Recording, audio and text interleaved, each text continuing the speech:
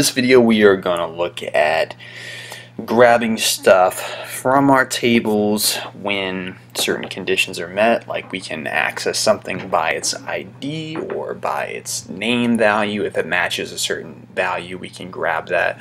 Um, we're also going to alter the table and we're going to add a new column to said table. So we're in our database. We've got our makes and our models for our car dealership database. And what we're gonna do starting out is I'm gonna go and say select um, excuse me select from select all from makes. And now that I've got that I'm gonna say select all from makes where make name equals Chevy. And then that's all I get back, right? So this is pretty cool and you can use it a lot of ways. So you can say select all from this table where um, this matches something from another table. You can, the, the possibilities are endless when you're working with where. Um, I can also do select ID from makes. And I'll just get back the IDs. I can say select make name from makes, right? And this is if I just want to get only those items, right? So what we're going to do with our database structure is right now we have our makes and our models and if I say select all from makes, I say select all from models. Then we're going to see that although all of the makes and models have their own ID, their own names, and their own quantity, what we don't have is any association between these two tables.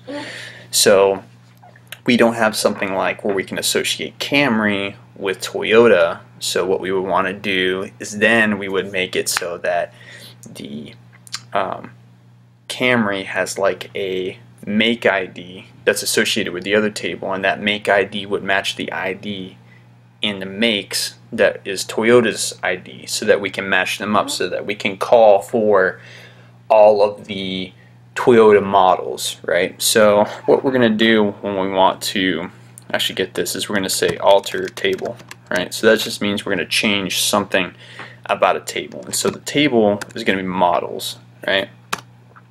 So what we're going to do is we're actually going to go in here and we're going to say, let me find the command. Uh, yeah. Add column, right? So we're going to actually add the column. Go back, back down here. We're going to add a whole new column to this and we're going to give it a name.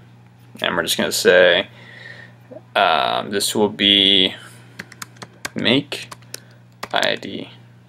And then we're going to specify what data type this is. In this case, it's going to be an integer. So we're just going to put that in there. And then we're going to say select all from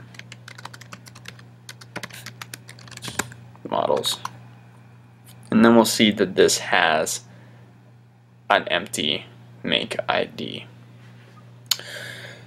So what we're going to do moving forward is we're going to want to give that a um, we're going to want to give Camry a make ID. So we're going to say insert into models and I'm going to say this is going to be a little bit of a, a, mix, a little bit of a mix-up. So we're going to say insert into models where and we know where the model name where the model name is equal to Camry was what we need to be looking for is something like this. We need to update our table models and set the existing make ID, which was zero because we hadn't put anything in there for that, to one where the model name equals Camry. So this is just a different uh, usage of commands that we than what we thought. So I can change this to 21. Right, I'm gonna fire this off, and then we'll select all from models, and we'll see that the make ID is 21.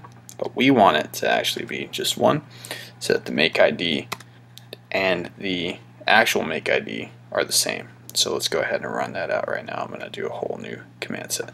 Just put in update models set make ID equals 1 where model name equals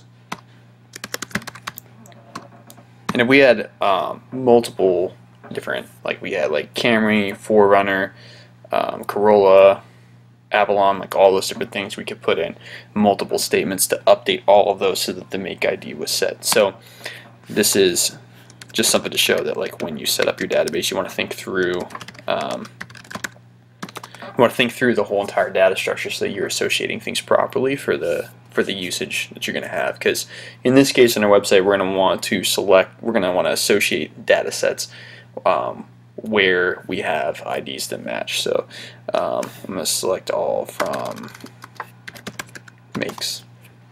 Right, so our ID here for Toyota is the same as our make ID inside of the, the model right here. So cool, so we've made a, an association there and we've covered um, update, set, right, we've updated, this is basically a conditional um, update and also we we added, we altered the table, we added in a whole new column, and yeah, there we go. So good stuff. I'll see you in the next video.